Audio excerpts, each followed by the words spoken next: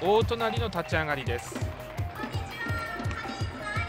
桐生は打ち取って渡辺直人三振高須ファーボールで歩かせましたが山崎セカンドゴロということで立ち上がりはもう高須のファーボールさえなければ、うん、満点ですね。なるほど、はい、2回イーグルス田中のピッチングです。田中の立ち上がりはいかがでした？うん田中もねまっすぐのキレというものがねすごいいいですよね、え。ー、3回もこれ長谷川山崎川崎3者連続三振。トータルま5者連続三振という圧巻のね投球がありました。そして4回です。大隣のピッチング。